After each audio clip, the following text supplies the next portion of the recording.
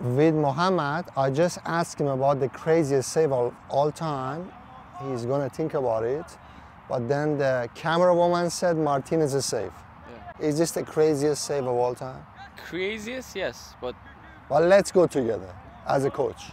So he anticipated, he came out, he made himself bigger, and in that point, it's just luck. He did everything, but it's not the craziest save of all time. It's probably the most important save of all time. yeah, All right.